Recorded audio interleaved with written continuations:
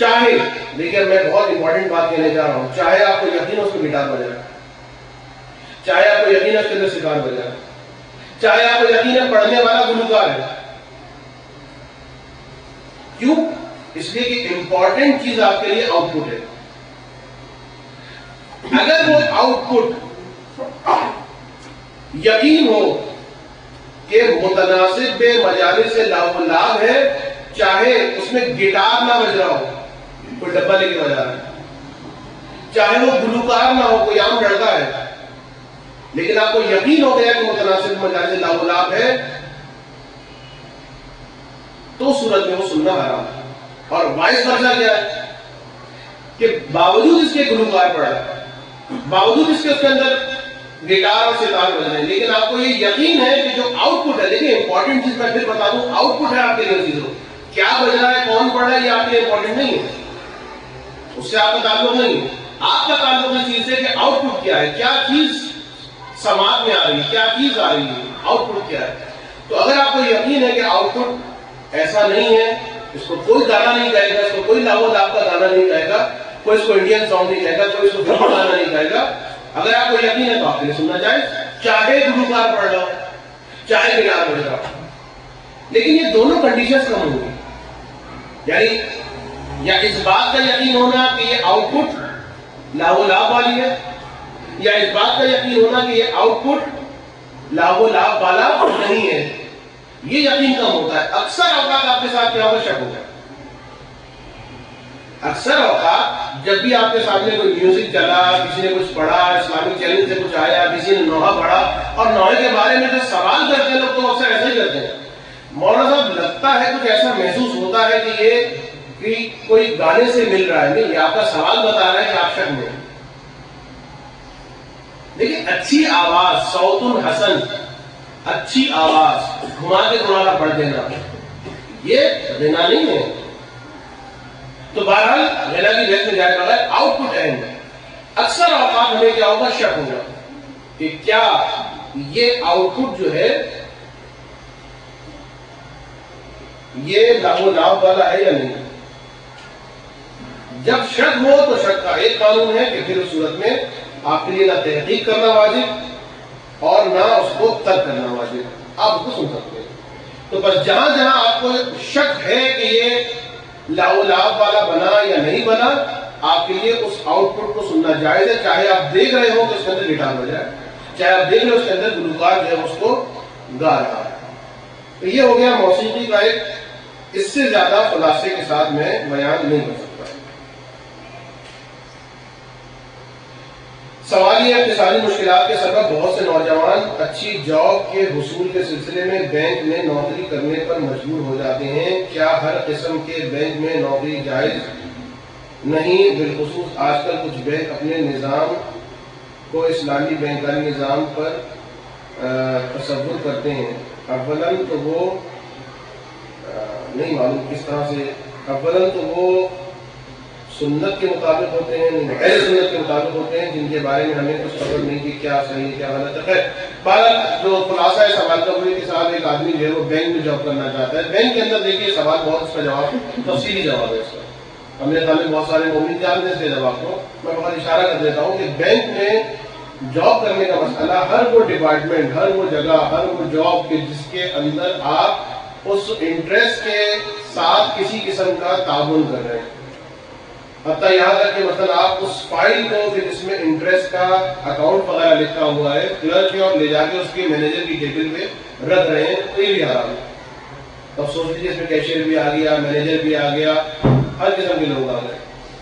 बाद अफराधी फरमाते हैं कि इंजीनियरिंग डिपार्टमेंट जो बैंक का है, वो इससे मुस्तना है मतलब इंजीनियरिंग डिपार्टमेंट से मुराद के वो जो बैंक को डिज़ाइन करते हैं कि बिल्डिंग कैसी है, कैसी नहीं। है इसी तरीके से बास वो डिपार्टमेंट के जो ऐसी डिपार्टमेंट है बिल्टी वगैरह के डिपार्टमेंट है, जिसमें सूद का कोई लेन देन नहीं होता है, सामान आता है, कुछ वाया जाता है उसमें कोई वो सिर्फ़ अपने वेयर हाउस का जो है वो एक आपसे एक एक उजरत मांगते हैं, जो उन्होंने रखा, उसमें अपने स्टोर रूम के अंदर या वेयर हाउस के अंदर, उसकी उजरत मांगते हैं।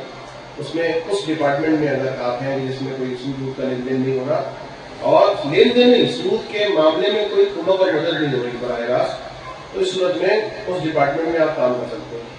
अब अगर मजबूरी है, बहुत ज़्यादा परेशानी है, और उनको नौकरी नहीं मिल रही है तो फिर ये देखा जाएगा कि क्या चीज़ ज़्यादा है।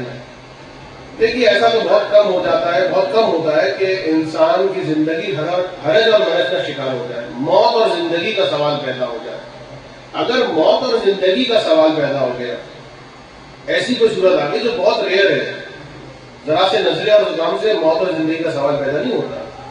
वाकई अगर मौत और ज़िंदगी का सवाल आ गया है हरज और मरज हरज शदीद आ गया है, उस सूरत में, उस हद तक कि ये हरज जो है दूर हो जाए, उस पीरियड तक और उस हद तक मजबूरन जॉब किया जा सकता है।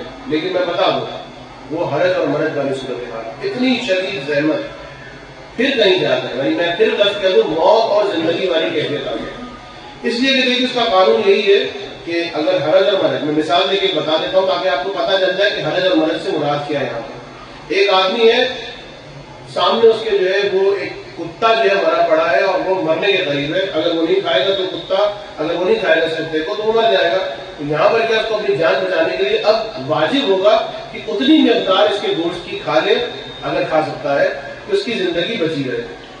तो यही तकरीबन एप्लीकेबल होगा इस मसले के अंदर। ऐसी स्टेज और ऐसी कंडीशन है तो फिर जायज़ है, जैसे ही उसको मौका मिले यहाँ से निकलने का, या जैसे ही वो हरज इसका दूर हो जाए, उस जॉब को छोड़ दे।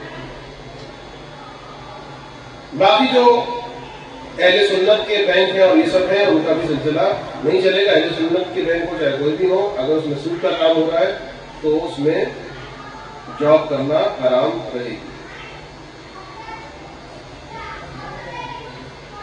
आमिर खान नहीं बैठ जाते अलग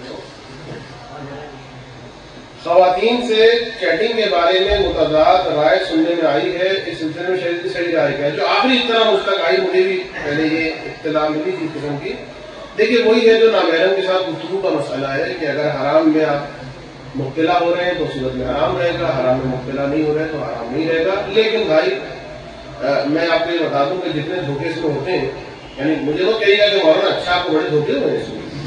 नहीं, जिस तरीके से सवाल आते लोगों के, जिस तरीके से बातें होती जिस तरीके से लोग हिकायात बयान करते हैं तो बहुत ज़्यादा अगर ज़रूरत है, क्यों चैटिंग की जाए? ज़रूरत क्या है? आजकल वैसे ही इतना भी इतने सवाल आ रहे हैं बैंक की जॉब नहीं मिल रही, वो नहीं मिल रहा तो चैटिंग के लिए टाइम मिल रहा है। घर के मसाइल हल नहीं रहे चैटिंग करने बैठ जाए देखिए चैटिंग जो है, ये वही वाली बात आ जाती है कि बिना ज़रूरत करने की कोई ज़रूरत नहीं है, खातन से, और अगर हराम में मुलविस होने का एहतमाल नहीं है हराम में पता नहीं मुलविस होंगे, फकत एक बात हो रही है। ठीक है पते आप चलता है इतना। यानी इतना आप चैटिंग कर सकते हैं। लेकिन मैं एक मशवरा आपको दूँगा कि आग और कागज़ ये दोनों जितने करीब होंगे, उतना खतरा बढ़ेगा। ये बात है रहती है हम बड़े पक्के मोमिन हैं, बस इसका मतलब है गए। अरे, हमें कुछ नहीं होगा। इसका मतलब है गए। आपको सब कुछ हो चुका। लिहाजा जितना दूर रहा जाए बेहतर है। देखिए, एक हवा चली है यहाँ पर मिक्स गैदरिंग की को एजुकेशन की, ये सारे मसाइल जो चल रहे हैं। मैंने तकरीर भी की इसके ऊपर, लिहाजा बात नहीं कहना चाहता। गलत फहमी है सारी ये जो बात हमारे जो इंटेलेक्चुअल्स और बात हमारे जो कहते हैं कि ज़रा आज़ाद जहन के, घुटे हुए जहन के लोग नहीं है, ज़रा अच्छी सोच रखते हैं, अच्छी फ़िक्र रखते हैं।